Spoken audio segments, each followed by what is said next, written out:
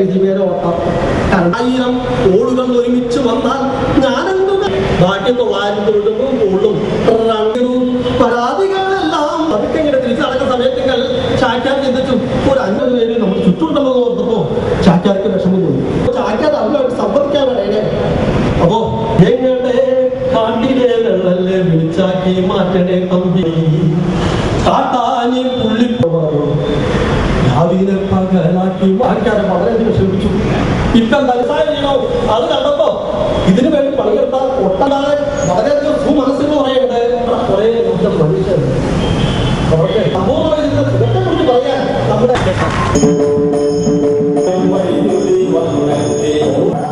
നിങ്ങൾ ഓരോരുത്തരുടെ പേരിലും കെ സി ബിയുടെ പേരിലും സ്വാഗതം ആശംസിക്കുന്നു. എന്നാൽ ശ്രീ പി എസ് ശ്രീരാമൻ അവർക്ക് നിങ്ങൾ ഈ പദ്ധതിയുടെ പ്രവർത്തനം രാമനെയും ഈ യോഗത്തിലേക്ക് സ്വാഗതം ചെയ്യുന്നു. ശ്രീ പ്രഖ്യാപിക്കാൻ നാളെ സമ്പൂർണമായി വൈദ്യീകരിച്ച സംസ്ഥാനമായി പ്രഖ്യാപിക്കുകയാണ്. നമ്മുടെ ജില്ല ഈ രണ്ട് മണ്ഡലങ്ങൾ കൂടി പുതുക്കാടും ചാലക്കുടിയും കൂടി പ്രഖ്യാപിക്കുന്നതോടുകൂടി ഇതിന്റെ ഭാഗമായി നമ്മുടെ ജില്ലയും സമ്പൂർണമായി വൈദ്യീകരിച്ച ജില്ലയായി മാറുകയാണ്. ഇതിനു മുമ്പ് രണ്ടായിരത്തി പത്തിലാണ് കഴിഞ്ഞ എൽ ഡി എഫ് സർക്കാരിന്റെ കാലത്ത് അന്നത്തെ വൈദ്യുതി വകുപ്പ് ജനപക്ഷം നിലകൊള്ളുന്ന നേതാവുമാണ് പ്രൊഫസർ പുതുക്കാട് നിയോജക മണ്ഡലത്തിൽ എഴുന്നൂറിലധികം കുടുംബങ്ങൾക്ക് സൗജന്യമായി വൈദ്യുതി കണക്ഷൻ നൽകുവാൻ മുപ്പത്തിമൂന്ന് ലക്ഷം രൂപ വികസന ഫണ്ടിൽ നിന്നും അനുവദിച്ചു സമ്പൂർണ വൈദ്യുതീകരണ പദ്ധതിയുടെ വ്യത്യസ്തതയാണ് പ്രൊഫസർ സി. രവീന്ദ്രനാഥ് എന്ന നേതാവിനെ പ്രയോജനാഭിമാക്കുന്നത് ആദരപൂർവം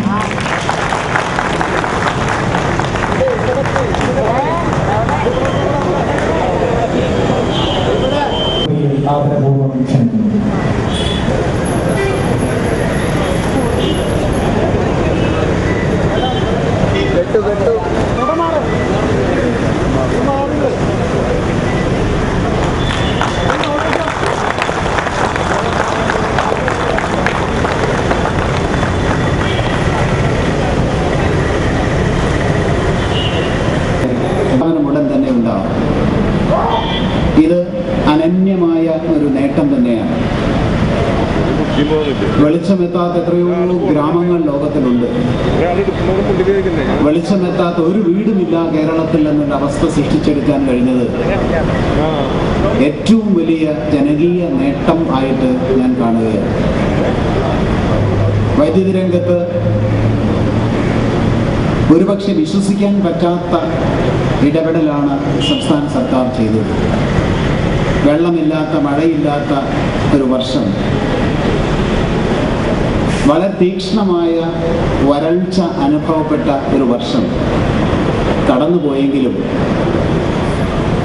പവർ കട്ടോ ലോഡ് ഷെഡിങ്ങോ ഒരു ദിവസം പോലും ഇല്ലാതെ കേരള സംസ്ഥാനത്തെ കാത്തു സൂക്ഷിക്കാൻ കഴിഞ്ഞു എന്നുള്ളത് ചെറിയ ഒരു നേട്ടമല്ല. നിയമസഭയിൽ വൈദ്യുത വകുപ്പ് മന്ത്രിയോട് ഒരു എം എൽ എ ചോദിച്ചു എന്താണ് ഇതിന്റെ മറിമായം എന്ന്? വാക്ക് തന്നെ. അപ്പം എന്തോ മറിമായം കൊണ്ടാണ് ഇങ്ങനെ സംഭവിച്ചത് എന്ന ധാരണയിൽ നിങ്ങളൊക്കെ കേട്ടിട്ടുണ്ടാകും ആ നിയമസഭ രേഖയിലുള്ളതാണ് വൈദ്യുതി മന്ത്രി പറഞ്ഞു മറിമായല്ല ആസൂത്രണത്തിന്റെ മികവാണ് എന്ന് ഇവിടെയാണ് ആസൂത്രണത്തിന്റെ കല കിടക്കുന്നത് എങ്ങനെയാണ് പ്ലാൻഡ് ആയിട്ട് ഒരു പ്രശ്നത്തെ അഭിമുഖീകരിക്കുക. അതിന്റെ ഉത്തമ ഉദാഹരണമാണ്. തീക്ഷ്ണമായ വരൾച്ച ഉണ്ടായിട്ടും വെള്ളമില്ലാതിരുന്നിട്ടും മഴയില്ലാതിരുന്നിട്ടും പവർ കട്ടും ലോഡ് ഷെഡിങ്ങും ഇല്ലാതെ ഒരു വർഷം കൊണ്ടുപോയി എന്നുള്ളത്. അങ്ങനെ ഒരുപാട് പറയാനുണ്ട് എല്ലാം സ്വാഭാവികമായിട്ട് പലർക്കുണ്ടാവുന്ന സംശയം. നോണ പറയുക ഇങ്ങനെയൊക്കെയാണ് പറയണത്. ഒരു വിഷമവുമില്ല. മഴയും വെള്ളവും ഇല്ലാണ്ട് വൈദ്യുതി എത്തിച്ചതുപോലെ ഇതൊക്കെ ആസൂത്രണം ചെയ്ത് നടപ്പിലാക്കാൻ കഴിയുന്ന കാര്യത്തിൽ ഒരു സംശയവും വേണ്ട. അതിനുവേണ്ടി സംസ്ഥാന സർക്കാർ വിഭാവനം ചെയ്തതാണ് കിഫ്ബി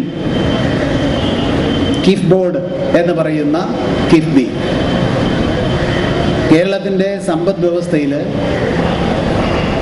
കേരള ബഡ്ജറ്റിൽ ഉള്ള പണത്തിന്റെ ആറ് മടങ്ങ് പണമുണ്ട്. പലരും ധരിച്ചൊരു സംസ്ഥാന സർക്കാരിന്റെ ബഡ്ജറ്റിലാണ് പണം ധാരാളം ഉള്ളത് എന്നുള്ളതാണ്. അത് പണം കുറവാണ് സംസ്ഥാന